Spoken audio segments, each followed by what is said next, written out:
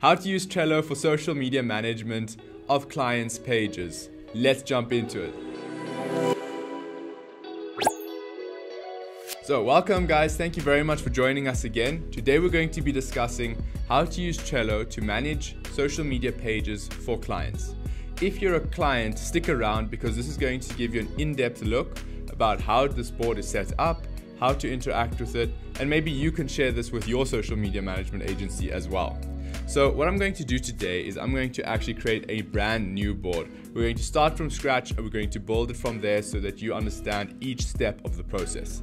So let's create a new board. This board is going to be called social media and we're going to create it. So we've hopped into the board. So we're going to have to create a few lists. The first list is going to be to do. The next list is going to be work in progress. And obviously, you can name these columns as you wish. If you want a further in depth look at how columns and cards work, you can jump into one of our other um, tutorials, sorry, not columns, lists, and you can see exactly how they work. We're just going to run through this part here. So, work in progress, um, work for approval approved work, and then scheduled. So we've created a to-do list, a work in progress list, work for approval list, approved work list, and scheduled list. You can also create a completed list, um, but that's not always necessary. It depends exactly how you want to set up your workflow. You can obviously, as I mentioned, name these lists as you wish, but we find that something like this works really well. So what I'm going to do is I'm going to create a few cards in to do. So what is the to-do section? The to-do section is all the social media content planning you want to do for the month ahead. So as you are working on posts or content for your social media, you will be able to add the cards as posts on this list. So I'm going to do give an example. Let's say we're working with a coffee shop.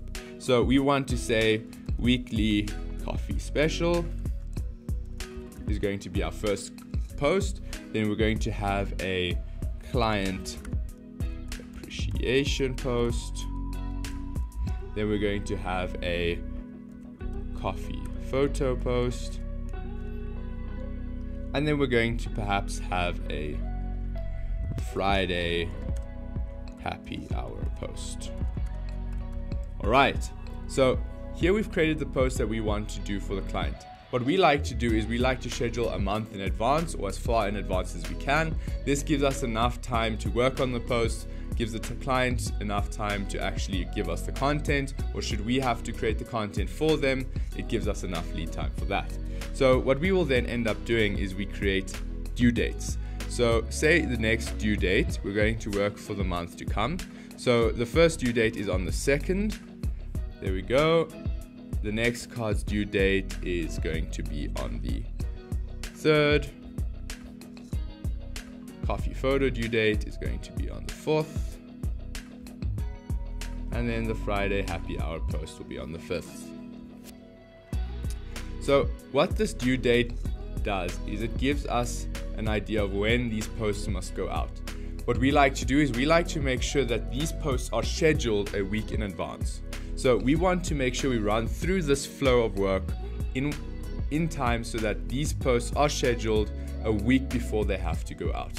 Why do we do that? Let's make sure that if there's any changes that have to happen on short notice, or if there's any other posts that come out of the blue that are perhaps ad hoc, we have the majority of our work already done and complete. Then we don't have to worry about it. Both the client and ourselves have peace of mind, everything's going to flow well.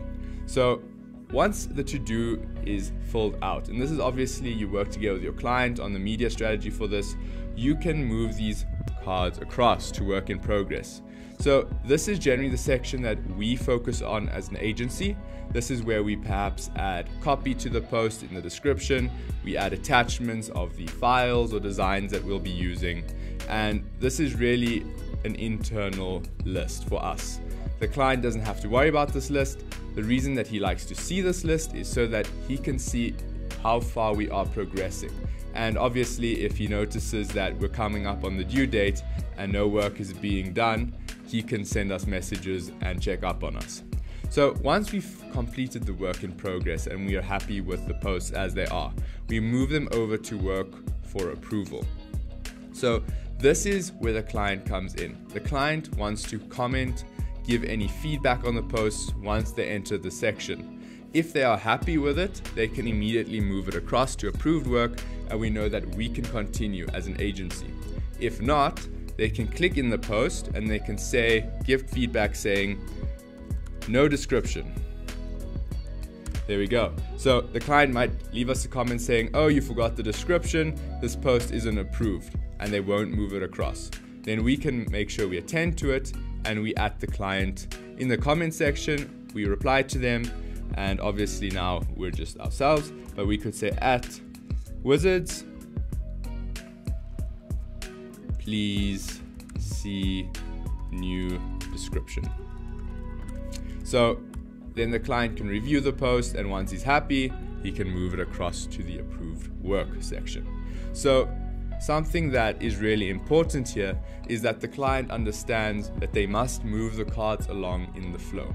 Some clients tend to only write inside here approved, but then they leave the card in the work for approval section, which can be very confusing and is not ideal. So this is something that's really important to show the client that the drag and drop system of Trello is really easy to use.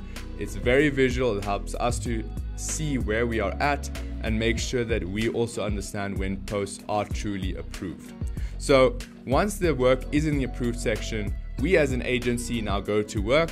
We take all the descriptions, all of the content that is here ready to go out, and we put it into the scheduling software that we use. So that allows us then to schedule it on that side. Unfortunately, Trello does not have that capacity internally. So from there, it's a bit of a um, physical thing that we have to do we take the content from Trello and then we upload and schedule it on the other software to whichever platforms we are using, be it Facebook, Instagram, etc. Once that is done, we move it across into scheduled. And then the client again can see, okay, everything is ready to go out. We've made sure it's scheduled. The posts should run as they need to. Then when the posts are completed, we can have a completed list here and we can actually move them into completed once they have been posted. Because I'm sure as you know Facebook can be sometimes notorious for not posting scheduled content. So this is also just a nice way to keep an eye on if everything is running and flowing smoothly.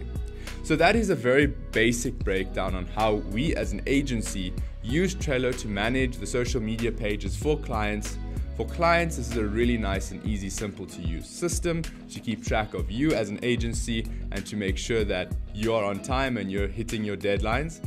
And for you to work with your client, this takes all of that conversation out of your other messaging apps or systems or mails and allows you to track everything regarding their social media on your Trello board. And it keeps it all in one place. It keeps it post specific because they're giving comments per post on these cards and it allows you to also easily make sure that we don't lose track of that in a long feed or thread of conversation. So that is very simple. Um, we will be going into more depth about how to use these boards successfully. But for that, stick around for more Trello tutorials which are to come. Like the page, subscribe, make sure that you stick around with us. Keep an eye out for future tutorials that are coming out. We'll see you in the next one. Stay safe.